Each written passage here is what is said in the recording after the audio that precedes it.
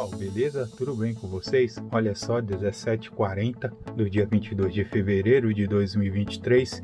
Que imagem linda, né? Imaginar que estamos passando por um, um processo aí bem difícil que ocorreu em São Sebastião.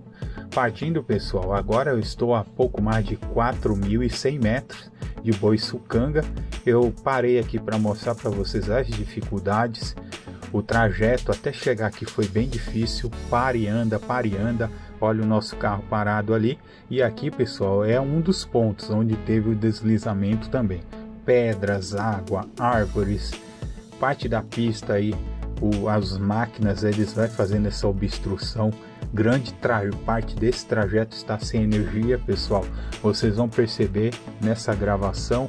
Tem algumas casas de alto padrão impressionante dentro da mata Atlântica, vocês vão perceber isso, pessoal. E o objetivo dessa parada é só para destacar para vocês as dificuldades, né?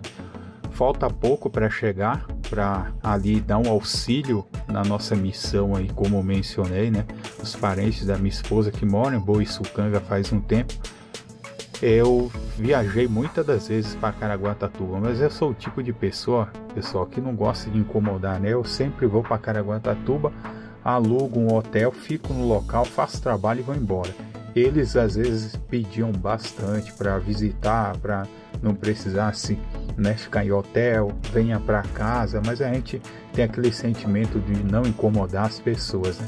Aqui vocês estão vendo outra barreira que aconteceu a mesma coisa, as águas, pedra, árvores, né? E todo esse trajeto as máquinas faz a limpeza e dão continuidade. Pessoal, são muitas barreiras assim.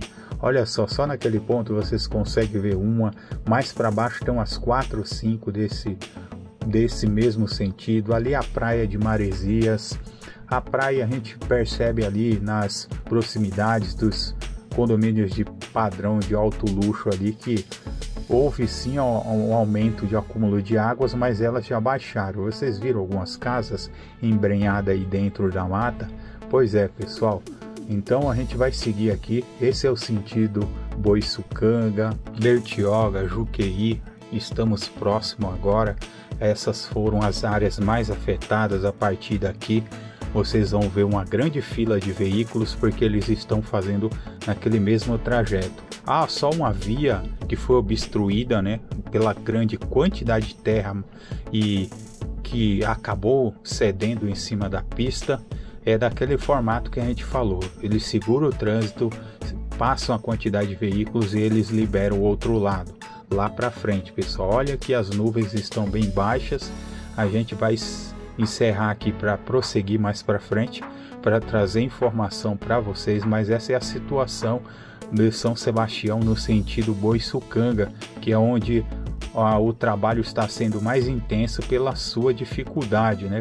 pela queda de barreiras em vários pontos da cidade. Aqui a gente vê a mata, né, a montanha, essas nuvens baixas. A gente encerra o vídeo aqui e vai acompanhando as últimas notícias. Pessoal, deixe meu abraço, segue o canal e as ações e aguardo vocês para o próximo vídeo. Falou, pessoal!